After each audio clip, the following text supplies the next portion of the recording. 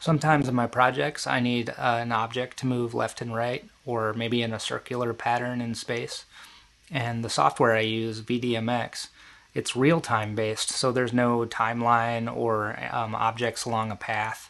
So in order to make things move in a pattern in space, I use LFOs to do that and I'll show you what that means. Okay, here we are in VDMX and I've got the workspace inspector open. I'll choose plugins at the top here. And then at the bottom of this panel, I'll choose the plus sign and LFO.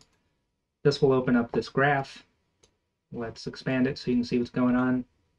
So we've got a timeline and all these different lines on the graph are the different waveforms in the LFO panel. So to simplify this, let's get rid of ramp and I'll do the same with waveform. So we're left with sine and cosine. A sine and cosine are basically the same pattern, they're just offset a little bit in time. So now we need something to move in a circle. So I'll go back to layers and then under use source, I'm just going to use something simple. So I'll choose uh, ISF uh, sources, geometry, and heart. Let's make it the right shape and make it a little bit smaller so we can move it around. Under layer one effects, I'll add geometry adjustment and I'll choose X, uh, Y zoom. I'll move these sliders down a little bit to make the, the width and the height the right size. Okay, now that it's the right size, I want to move it around. So in order to move things around, I want to add another layer 1 effects.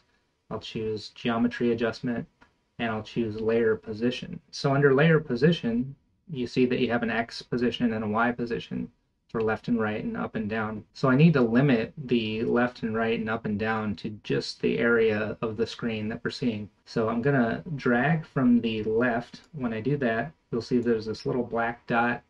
This is the minimum and then over here is the maximum. I can kind of move these in. And if I scrub between them, you can see where the edge of the screen is or where the edge of this movement is. I'll do the same with Y. Okay, once I've got those in a space that I like, I can right click the X position, go to use data source, and then choose the LFO cosine. And now you'll see that the heart is moving along the X plane um, at the rate of the LFO. Under the Y position, I'll choose the LFO and sine.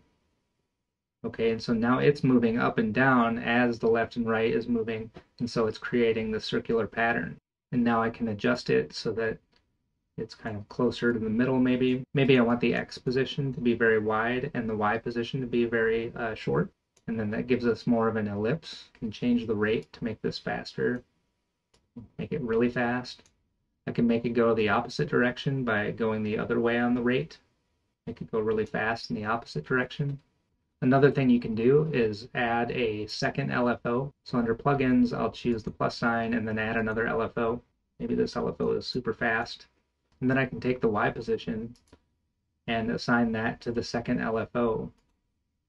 And now I've got this like zigzag effect. So that's a way to add variation to the movement is to add different LFOs to different different shapes, change your minimum and maximums.